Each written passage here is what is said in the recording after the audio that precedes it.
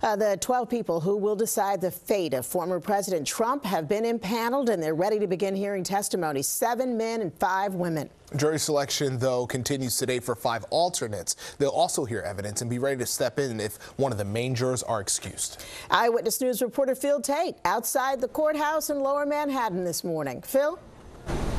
Yeah, well, Trump is back in court and not too happy about it, already criticizing the judge's gag order. Well, this after a roller coaster of a day just yesterday as two jurors were excused. But even with the shakeup, Judge Merchan was able to say we have our jury that's now seated, made up of seven men and five women. The focus of today is to make sure that all of those alternate jurors are selected. As for the jury that's now seated, this comes after a days long search of potential jurors to serve for the duration of the former president's first criminal trial. Now, these 12 jurors jurors sworn in will decide if Trump is innocent or guilty related to an alleged 2016 hush money payment to adult film actress Stormy Daniels. Now, this hasn't been an easy task as two jurors were excused, one after expressing doubt of her ability to be fair and impartial, the other over his concerns of inaccurate answers.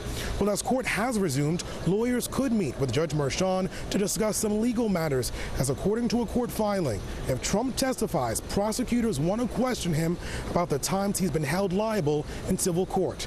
Well, as the former president is back in court today, he said he'd rather be focused on the race to the White House.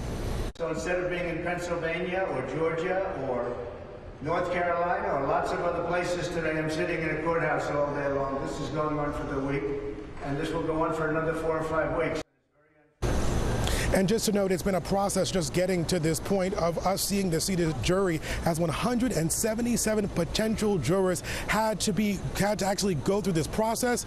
The focus today is to make sure that those alternate jurors are selected as opening statements could very well begin Monday. We're in Lower Manhattan this morning. I'm Phil Taitt, Channel 7 Eyewitness News. History come Monday. Thank you so much, Phil.